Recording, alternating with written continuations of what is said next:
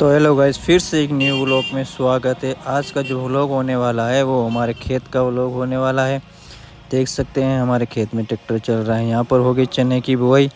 तो हमें पहले उसके करनी पड़ेगी जुताई। अभी हो रही, दो बार तो हो गया है।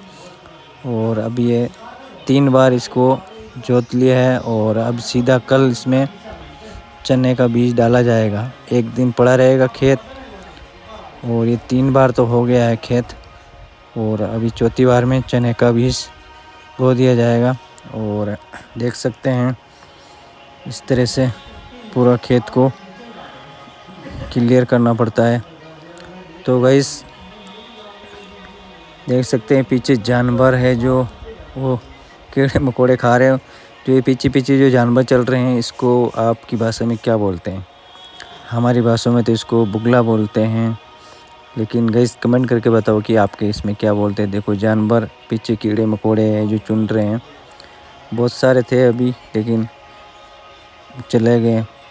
शुरुआत में बहुत सारे थे यहाँ पे। तो गई अगर आप हमारे चैनल पर नहीं हैं तो चैनल को सब्सक्राइब कर दे और वीडियो को लाइक कर दे और शेयर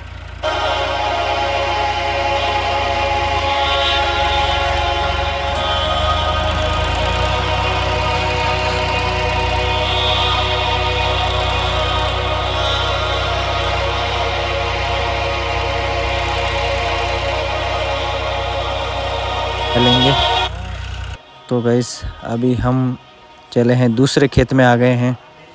ये इस खेत की भी जुताई हो रही है। इसको भी दो बार पहले जुताई कर दिया और तीसरी बार अभी इसकी जुताई हो रही है। तो गैस तीन तीन बार होने के बाद में चौथी बार हम बीज डालेंगे। तो ये हमारा दूसरा खेत है और इसके बाद में चलेंगे तीसरा खेत में।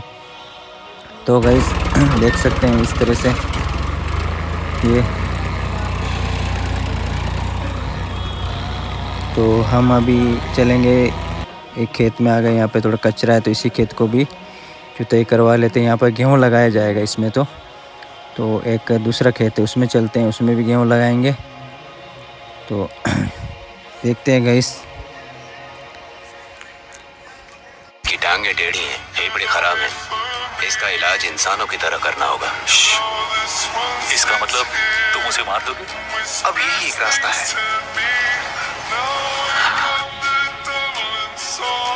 अगर मेरे साथ आना है तो अभी उठो।